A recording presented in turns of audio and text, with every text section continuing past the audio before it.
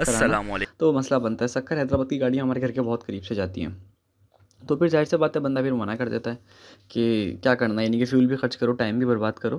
तो इसी तरीके से उनका हिसाब होता है। तो अगर कागज़ चूज़ा है तो तीस रुपये का लेकिन ज़ाहिर जैसे पता नहीं लेते हमारा काम नहीं पड़ता इतना ज़्यादा। तो ये होता है आप लोगों के साथ। तो ब्रॉयलर में तो भाई ख़ास तौर पे ये है कि किसी बंदे को पाँच दस रुपये कितना इन ताला बेहतरीन पला है। तो वीडियो इस तरह की थी और अब जो मैंने नया सेटअप करना है इस जगह के ऊपर, वो वैक्सीन का है और उसके बाद मैंने आपको दिखाना है कि किस तरीके से हम लोग वालेकुम and welcome back to other episode आज की दोस्तों, उम्मीद करते हैं आप सब लोग खैरियत से होंगे। तो भाई, आज आ गई है चूज़ों की अपडेट वीडियो और आज चूज़ों की एज है तकरीबन फाइव डेज़ ठीक है ना? और इसके अंदर कुछ चेंजिंग्स थे, मैंने कहा वो भी रिकॉर्ड करते हैं। उसके अलावा जो फ़ीड कितनी कंज्यूम हो गई, कितनी मोटेलिटी हो गई क्या क्या चूज़े की हेल्थ है, ये सारी की सारी चीज़ें आज की इस वीडियो के अंदर थी। और लास्ट वीडियो पर रिस्पांस अच्छा था, बड़ा अच्छा लगता है जब लोग लंबी वीडियो देखते हैं और उसके अलावा लाइक भी कर देते हैं तो बड़ा अच्छा लगता है। तो इसीलिए भाई, अगर आपको वीडियो अच्छी लगे तो वीडियो लाइक कर दिया करें। उससे ये होता है कि बस एक अच्छी सी फीलिंग आती है एल्गोरिथम को थोड़ी हेल्प होती है, वो ज़्यादा से ज़्यादा लोगों को वीडियो सेंड करता है शेयर करता है तो वो एक अच्छी सी बात हो जाती है। अच्छा आज आप देख रहे हो ना यार, चूज़े के नीचे का जो फ्लोर है ना, ये बहुत ज़्यादा गंदा हो जाता है। और ये जो वाइट पेपर मैंने बिछाया था आपके सामने, ये कितना ज़्यादा गंदा हो गया। आप देखेंगे वाइट पेपर लग ही नहीं रहा है अभी मैं चाहता तो यहाँ पर नया पेपर बिछा सकता था, पर उसकी लाइफ एक से दो दिन होगी। बस।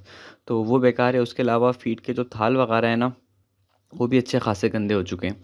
तो इसी चक्कर में इसको उठाना पड़ेगा मुझे और बर्तन भी फीट के चेंज करने पड़ेंगे।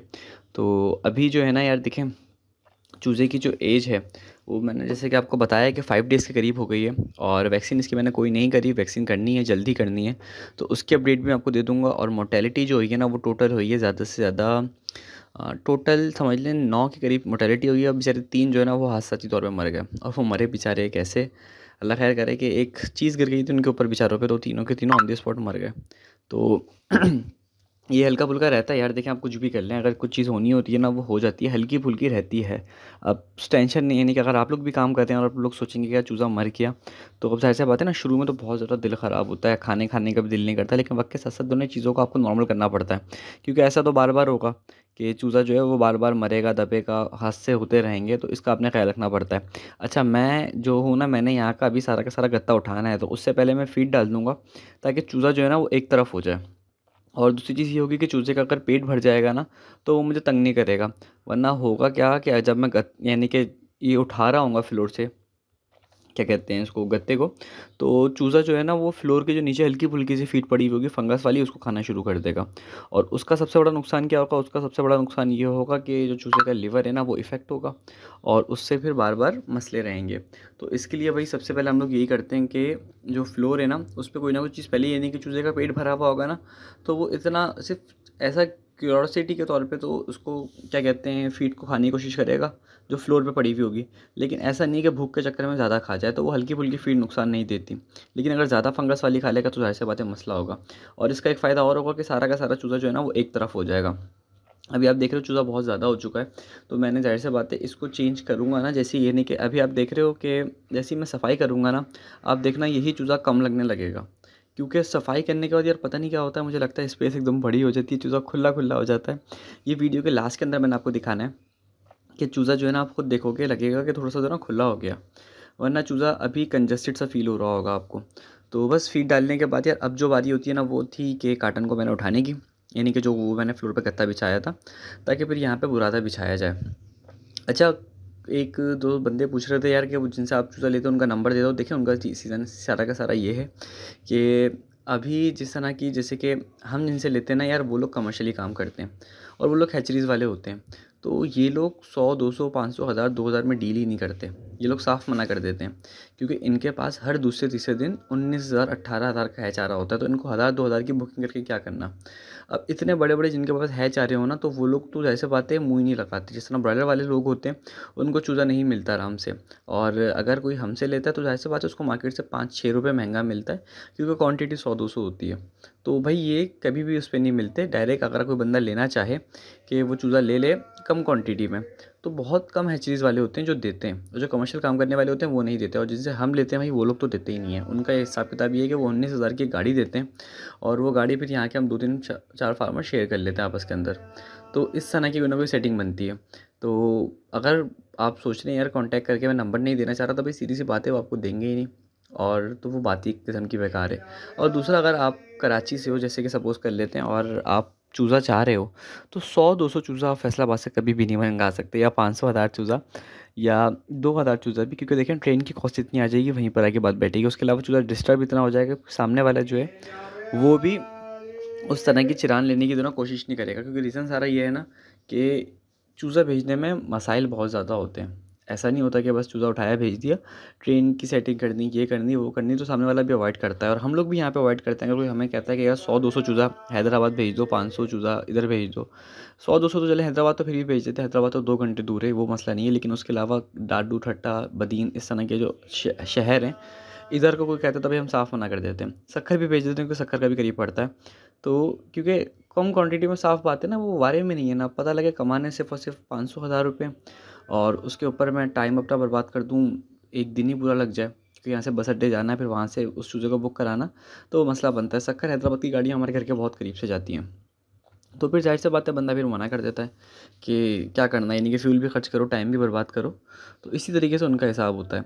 तो अगर काम करना चाह रहे हैं ना तो देखें मैं कहता हूँ, शुरू में थोड़े से महँगा करके चूज़ा ख़रीद लें, कोई फ़र्क नहीं पड़ता। जब बड़ी क्वांटिटी लें तो उसके बाद सस्ता आता रहेगा। कुछ चीज़ें खाली प्रैक्टिकल के नाम के ऊपर बंदा खर्च कर लेता है कि चलो सही है। अब ये होता है कि लोग पैसे बचाने के चक्कर में सोचते रहते हैं कि यार यहाँ से दो रुपये बचाएँगे, दो रुपये बचाएँगे तो कभी भी काम शुरू नहीं कर पाते और डेढ़ होशियारी के चक्कर में देना अच्छा खासा नुकसान कर जाते हैं। अच्छा मैंने देखा मैं तकरीबन सारा का सारा गत्ता उठा दिया यहाँ से, लेकिन उसके बाद भी जो ना चूज़ा जो है ना, वो फिर ज़मीन पर नहीं आ रहा। क्योंकि दोनों चूज़े को डर लग रहा होता है कि ये पता नहीं क्या चीज़ है। मेजॉरिटी चूज़ा देखें, लाइन में खड़ा हुआ है। और मैं भी वीडियो द्वारा पीछे करके आपको दिखाऊँगा। तो उसमें उनको खुद समझ में नहीं आ रहा कि यार ये हुआ क्या है। जबकि देखें, सारी जगह खाली है उस तरफ़ की। और सारा का सारा चूज़ा इस तरफ़ जमा है और ऐसा तो हो नहीं सकता कि मैं इनको बोलूँगा कि उधर ही रहो, उधर के उधर ही रहेंगे ये ऐसा नहीं होगा, तकरीबन पंद्रह सौ चूज़ा एक तरफ़ जमा हुआ हुआ है। तो इनकी नेचर होती है, इनको नई चीज़ समझ भी नहीं आती। ये नए बुरादे पे भी एकदम नहीं आते। और नया फ्लोर, अगर इनको पहली दफ़ा इन्होंने फ्लोर देखा है तो ये फ्लोर पर भी पहली दफ़ा कभी नहीं आएँगे। तो ये सारी चीज़ें होती हैं इन चीज़ों के लिए। अच्छा खैर, अब जो था ना यार, आखिरी काम वो बुरादा बिछाना था तो बुरादा बिछाने से पहले मैंने कहा ज़रा सा सामान समेट दूँ, जो फ़ीड वगैरह डाली हुई थी, ताकि जैसे बातें फ़ीड ख़राब ना हो और काम भी चल जाए। तो ये वाली बात थी भाई एक छोटी सी चूज़े को लेके कि आप लोग लेना चाह रहे हैं तो भाई इस तरीके के हिसाब है। और ब्रॉयलर लेने वाले तो भाई अपने माइंड में रखे ही ना कि दो सौ, तीन सौ, चार सौ, पाँच सौ वाला देता है।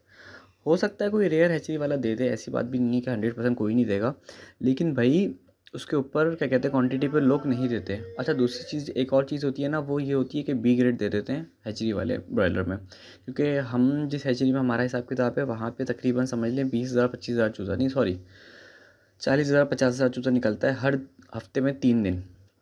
अब इस क्वांटिटी में अगर चूज़ा निकलेगा तो उसमें बी ग्रेड अच्छा खासा निकलता है। और बी ग्रेड कितना निकलता है, अगर मैं आपको बताऊँ कि तकरीबन समझ लें कि पाँच सौ के करीब, पाँच सौ छः सौ के करीब निकलता है तो सारा बी ग्रेड लोगों को दे देते हैं। और हम अगर बी ग्रेड का बोले तो हमें तो वो B grade thirty percent rate पे देते हैं। यानी सौ का चूज़ा है तो तीस रुपये का। लेकिन वैसे पता नहीं लेते, हमारा काम नहीं पड़ता इतना ज़्यादा। तो ये होता है आप लोगों के साथ। तो ब्रॉयलर में तो भाई ख़ास तौर पे ये है कि किसी बंदे को पाँच, दस रुपये ऊपर देते हैं। मैं ये नहीं कह रहा कि आप मुझे दें, किसी को भी दें या जिस मर्ज़ी को दें, क्योंकि मेरे देखने वाले सिर्फ़ कराची से नहीं हैं, बहुत सारी जगहों से भी हैं। तो ये है कि आप भले किसी को भी दें, पर थोड़े से पैसे खर्च कर लेंगे तो फ़र्क नहीं पड़ेगा। अगर सौ चूज़े लिए आपने और सौ चूज़े पर पाँच रुपये ऊपर दे दिए तो एक सौ पाँच रुपये बन गए वो। तो पाँच रुपये का मतलब है तकरीबन पाँच सौ रुपये बन गए वो। पाँच सौ रुपये से क्या होता है? कम से कम टाइम तो आपका बचेगा, चीज़ तो आपकी बचेगी श्योर होगी। पता लगे डेढ़ होशियारी के चक्कर में आपने चूज़ा ही ऐसा ले लिया, जो किसी काम का ही ना हो तो वो बेकार है। और ये बात मैंने अपने पोल्ट्री फ़ार्मिंग का जो हमारा कोर्स है, उसमें बार बार मैंने बताई कि भाई इसको इस तरीके से लेके चले आप। और उसके बारे में डिटेली बताइए कि चूज़ा किस तरीके का एक ग्रेड होता है। अगर वो कोर्स लेने में भी आप इंटरेस्टेड हो तो यार कॉन्टैक्ट कर सकते हैं, आपको नंबर स्क्रीन पर दिख जाएगा। ट्वेंटी फाइव हंड्रेड के अंदर हमारी, क्या कहते हैं लाइव क्लासेस होती हैं। लाइव क्लासेस तो नहीं है दफ़ा रिकॉर्डेड लेक्चर्स हैं। तो वो सारी की सारी चीज़ें आपको उसके अंदर मिल जाएँगी और बहुत ही मुनासिब कीमत में आप ईच एंड एवरीथिंग सब समझ लेंगे। तो अगर वो भी लेना चाहें तो कॉन्टैक्ट कर सकते हैं। अभी देख रहे हैं यार, अभी जो मैंने बिछाया हुआ ये सारा का सारा राइस बिछाया है। और राइस जो होता है, वो इस टाइम जो कराची में पड़ रहा है, वो तकरीबन समझ लें तीन सौ, साढ़े तीन सौ रुपये बैग पड़ रहा है। उसके बाद ट्रांसपोर्टेशन अलग होती है। और कई जगह पे तो पाँच सौ छः सौ रुपये भी पड़ता है ट्रांसपोर्टेशन के बाद, क्योंकि मेरे पास काफ़ी पुराना पड़ा हुआ है, तकरीबन छः महीने पहले का है। मैंने सुजुकी मंगा ली थी, वो पूरी की पूरी अभी तक चल रही है। तो इस चक्कर में इतनी ज़्यादा ज़रूरत पड़ी नहीं, लेकिन राइस जो है वो इतना ही का ही पड़ता है। और चूज़े की मैंने आपको बताया था कि जैसे ही मैं इसको खुला करूँगा, यानी कि जैसे ही मैं सफ़ाई करूँगा तो आप देखेगा कि चूज़ा कम लगेगा जगह के ऊपर। पहले पूरा भरा हुआ था, अभी पूरा खाली है। और चूज़ा जो है वो भाग तो रहा है पानी वगैरह के लिए, छोटी बहुत चीज़ों के लिए, लेकिन चूज़ा जो है ना, वो इतना ज़्यादा वो नहीं है कंजस्टेड नहीं है खुला खुला हो जाता है। तो अगर आपके पास भी जगह कम है ना तो भाई सफ़ाई का ख्याल रखा करें। सफ़ाई से जगह में बरकत आ जाती है या पता नहीं क्या वजह है। कोई अगर आपके जहन में इसका रीज़न हो तो मुझे बताइएगा ज़रूर। क्योंकि मैंने तो ये बहुत बहुत दफ़ा नोट करी है कि जैसे ही मैं सफ़ाई करता हूँ ना, चूज़ा एकदम खुला हो जाता है चूज़ा फ्रेश हो जाता है। अब देखें, चूज़ा का सारा का सारा फ्रेश हो जाता है पहले सफ़ाई से पहले थोड़ा सा स्ट्रेस में लग रहा होता है। शक्ल से महसूस हो रहा होता है कि गंदी गंदी शक्लें बना रहा है, परेशान हो रहा है। लेकिन ऐसा नहीं होता। जब आप रखेंगे चीज़ें तो वो हो जाएगा। अच्छा मेडिसन की मैंने एक चीज़ बतानी थी कि भाई मेडिसन जो थी, वो हमने जो यूज़ करी है अभी तक वो ऑगमेंटिन डी सिरप छः बोतलें इस्तेमाल कर ली थी। शुरू के चार, पाँच दिन रेगुलर दिए मैंने, यानी कि आज आखिरी दिन था, इसके बाद मैं इसको नहीं दी, दूँगा। और उसके बाद ट्राइफिल, एक स्पून एक लीटर के अंदर, और साथ में वाइटामिन एक स्पून सॉरी एक स्पून दस लीटर के अंदर ट्राइफिल, और एक स्पून दस लीटर वाइटामिन जो मैंने फ़र्स्ट वीडियो में दिखाए थे, वही तकरीबन मैंने चार, पाँच दिन यूज़ करा है, और रिज़ल्ट आपके सामने और उसके साथ साथ जो फ़ीड की पैक कंज्यूम हो गए ना भाई, वो तकरीबन हो गए हैं, तकरीबन ढाई बैग कंज्यूम हो चुके हैं। नहीं सॉरी दो हो चुके हैं। और अभी जो है चूज़ा ओवरऑल वो अच्छी ग्रोथ में है और बहुत बेहतरीन जिसे कहते हैं रिज़ल्ट आता है। क्योंकि मैंने टिकटॉक पे वीडियो अपलोड करी थी कि चूज़ा दो दिन का हो गया। तो एक बंदा मुझे कह रहा था, यार, दो दिन का तो लग ही नहीं रहा है हफ़्ते का लग रहा है, माशाल्लाह से। तो रीज़न ये ना कि भाई चूज़े की अगर आप शुरू में केयरिंग अच्छी करेंगे तो चूज़ा ऑटोमेटिकली आपको रिज़ल्ट भी अच्छा देगा। तो इस तरह वीडियो के साथ कंप्लीट यानी कि जब भी कोर्स ख़त्म होगा इन ताला, यानी कि जब भी दो तीन महीने का पूरा का पूरा मैं आपको साइकिल दिखा दूँगा तो आपको ख़ुद भी अंदाज़ा हो जाएगा कि चूज़ा जो है वो कितना इन ताला बेहतरीन पला है। तो वीडियो इस तरह की थी और अब जो मैंने नया सेटअप करना है इस जगह के ऊपर, वो वैक्सीन का है और उसके बाद मैंने आपको दिखाना है कि किस तरीके से हम लोग यहाँ पर वो करेंगे। क्या कहते हैं, यहाँ पे मैंने ऑटोमेटिक फीडर लाइन्स लगा लेनी और बहुत सारा चूज़ा मैंने केज में शिफ्ट कर देना है। क्योंकि अब जो है ना, जगह थोड़ी सी कंजेस्टेड हो रही है तो अभी नहीं तो दो दिन बाद, चार दिन बाद या पाँच दिन के अंदर मुझे इस जगह को शिफ्ट करना पड़ेगा चूज़े को, ताकि चूज़ा जो है वो थोड़ा सा खुला खुला होगा तो ज़्यादा अच्छा वेट गेन करेगा। अभी समझ लें कि मुझे ये बुरादा वगैरह चेंज करने में सिर्फ़ एक से दो घंटे लगे थे और दो घंटे के अंदर ही चूज़ा इतना ज़्यादा प्यासा हो गया कि आप देख रहे हैं कि फीट पे ये पानी पे किस तरीके से उन्होंने हमला किया हुआ है और एक के ऊपर एक की लाइन लगी हुई है। और इस तरह अगर आपके चूज़े के साथ हो ना तो भाई आपने उस टाइम पे अलर्ट रहना है। आपने हर दो मिनट बाद, तीन मिनट बाद चक्कर लगा के इनको पानी के बर्तनों की तरफ़ से हटाना है। वरना पता है होगा क्या? ये चूज़ा एक के ऊपर एक चढ़ेगा और चूज़ा डूब के मर जाएगा। तो जो पीछे की तरफ़ चूज़ा होगा ना, या तो वो दब के मर जाएगा या डूब के मर जाएगा। तो इसीलिए हर दो मिनट बाद, तीन मिनट बाद आप चक्कर लगाएँ। कोशिश करें वहीं पर ही बैठे रहें। अगर आपका चूज़ा प्यासा है तो ये है कि उससे वो बचा रहेगा। अभी देखिए, मैं आया हूँ ना तो ये सारे के सारे चूज़े साइड पर हो जाएँगे। तो इस तरीके का आपको दो तीन चीज़ों का ख्याल रखना पड़ेगा। अच्छा फ़ीड जो है, अब मैं डालूँगा इन बर्तनों में। थाल जो थे, वो गंदे भी हो गए थे और उसके अलावा थाल जो है ना, अब उनका कोई फ़ायदा नहीं है। अच्छा क्या कहते हैं, ये चूज़ा आप देख रहे हो ना, जैसे कि सबसे, अगर आप कोने पे चूज़ा देखो, पहले उसके अंदर वो बर्तन के अंदर ही घुस के पानी पी रहा है। तो इस तरह के चूज़े बहुत ज़्यादा होते हैं जो मर जाते हैं अक्सर। तो अब जो है ना यार, बर्तन इसलिए लगा लगा दिए सारे के सारे के अब चूज़ा जो है, वो हो गया बड़ा।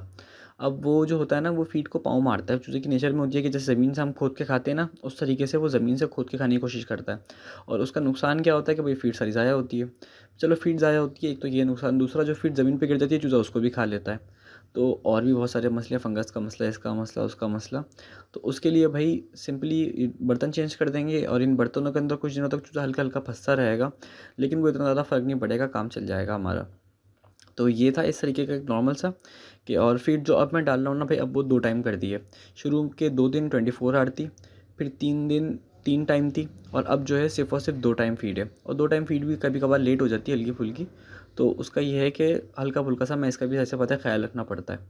तो इस तरीके से भी कर कर आके फीडिंग का काम चल रहा है। चूज़े की डिटेल चल रही है। और चूज़े की जो है वो डिटेल अपडेट वीडियोज़ कैसी लगी आप मुझे ज़रा बताइएगा ज़रूर। क्योंकि यार कमेंट और लाइक करते ना थोड़ा सा अच्छा लगता है। और ये पूरी की पूरी वीडियो मैं वन शॉट में रिकॉर्ड करता हूँ, जिससे आइडिया हो जाता है। अच्छा एक और मसला था मैंने कहा चलें, वो भी डिस्कस कर लेते हैं। वो ये था कि भाई लोग कह रहे थे ज़ीरो की फ़ीड वहाँ पर नहीं मिल रही। क्या कहते हैं, पंजाब में नहीं मिल रही या फिर हाँ पंजाब के ज़्यादातर लोगों का है कि पंजाब में ज़ीरो की फ़ीड नहीं मिल रही, कराची में तो मिल रही है, कराची सिंध में। तो इसका भाई रीज़न सीधी सा ये है कि ज़ीरो की फ़ीड अक्सर ग्यारह नंबर के नाम से भी मिलती है। और ग्यारह नंबर के नाम से भी मिलती है। बस एक चीज़ चेक कर लेगा कि भले आप किसी भी शहर से ले रहे हो, आपने प्री स्टार्टर फ़ीड लेनी है या स्टार्टर फ़ीड लेनी है, ठीक है? अगर ज़ीरो नहीं मिल रही है आपको, यानी कि बात है बैक पे ज़ीरो नहीं लिखा हुआ तो ज़ाहिर सी बात प्री स्टार्टर होगी। ज़ीरो बेसिकली साइज़ को कहते हैं कुछ जगहों पे लोग ज़ीरो साइज़ को नहीं कहते फ़ीड का बैग का नाम ग्यारह नंबर रख देते हैं, और उनके यहाँ वो डेवल चूज़े की फ़ीड होती है। तो स्टार्टर या प्री स्टार्टर अगर कहीं लिखा हुआ है बैग के ऊपर तो वो फ़ीड आप ले सकते हो। कोई इतना बड़ा मसला नहीं है, आपका काम भी चल जाएगा और आपका ड्यूरेशन भी चल जाएगा। और जो लोग इस टाइम पे सोच रहे हैं मिस्री करने का ब्रॉयलर करने का तो भाई अभी तो गोल्डन टाइम है। क्योंकि इस साल जो है ना ओवरऑल वो मार्केट बहुत ज़्यादा अच्छी रहेगी इन ताला। क्योंकि दो रीज़न है, एक तो भाई रिसेशन का एयर है तो इस टाइम पर वैसे ही बहुत कम लोग इस काम में कूदेंगे। जब लोगों के पास एक्स्ट्रा पैसा होता है तो वो लोग कूदते हैं इस काम के अंदर। इस साल तो वैसे ही लिमिटेड लोग आएँगे। तो ज़ाहिर सी बात है कि इन ताला ये जो मार्केट है वो वैसी अच्छी रहेगी। दूसरा इस दफ़ा रेट अभी से बहुत अच्छा है, यानी कि अभी इस टाइम मिस्री का रेट अच्छा खासा चल रहा है, यानी कि साढ़े आठ सौ, नौ सौ, साढ़े नौ सौ, इस तरह का रेट चल रहा है। हज़ार रुपये के जी भी चल रहा है कई जगहों पे। तो वो डिपेंड करता है आपकी चीज़ के हिसाब से, आपकी बाइंग के हिसाब से। आप डायरेक्ट दुकान वाले को बेच रहे हो, किसी ब्रोकर को बेच रहे हो तो इस तरह की सारी की सारी चीज़ों पर डिपेंड करता है। तो वही वीडियो अच्छी इतनी सी थी। उम्मीद करते हैं कि वीडियो आपको अच्छी लगी हो। और वीडियो अच्छी लगी हो तो वीडियो को लाइक ज़रूर कर देगा। और अगर इस तरह के डिटेल ब्लॉग्स देखना चाहते हैं तो भाई चैनल को सब्सक्राइब कर देगा। साथ में टिकटॉक पर भी फॉलो कर लेगा। डिस्क्रिप्शन में आपको लिंक मिल जाएगा। टिकटॉक पर बड़ा अच्छा रिस्पॉन्स होता है यार। एक वीडियो अपलोड करो, तीस हज़ार, चालीस हज़ार लोग देख लेते हैं और बड़े पसंद, अक्सर लोग टिकटॉक से ही मेरे यूट्यूब चैनल पर आए हैं। तो उन सबका थैंक यू और इस तरह अल्लाह करे चलता रहे चैनल तो अच्छा रहेगा। तो उम्मीद करते हैं वीडियो आपको अच्छी लगी हो। वीडियो अच्छी लगी हो तो वीडियो को लाइक कर देगा चैनल को सब्सक्राइब कर देगा। उसके साथ साथ अगर आप हमारा पोल्ट्री फ़ार्मिंग का कोर्स ले सकते हैं तो वो भी परचेज़ कर सक, लेना चाहते हैं तो वो भी परचेज़ कर सकते हैं। स्क्रीन पर आपको नंबर मिल जाएगा। मिलते हैं अपने नेक्स्ट एपिसोड में, तब तक के लिए अल्लाम